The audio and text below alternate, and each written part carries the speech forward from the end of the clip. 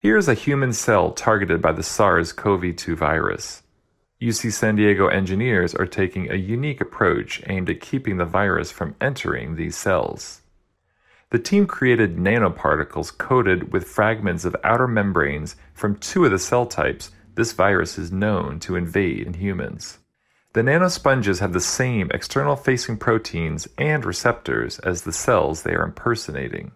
When these nanosponges latch on to the SARS CoV 2 virus, the virus is no longer able to enter an actual cell. If the virus can't enter a cell, it can't replicate and is neutralized. One of the researchers' ideas is to surround the SARS CoV 2 virus with many biomimetic nanosponges so many that the virus particles will bind primarily to these decoys rather than to human cells.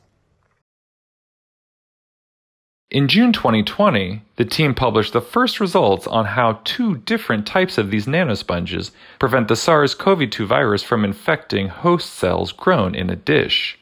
Nanosponges cloaked with fragments of lung cell membranes reduce the ability of the SARS CoV 2 virus to infect host cells grown in a dish by 93%.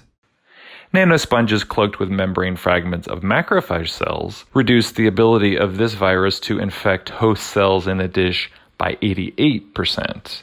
Additional research is ongoing in the lab of nanoengineering professor Liangfang Zhang at the University of California, San Diego, Jacobs School of Engineering.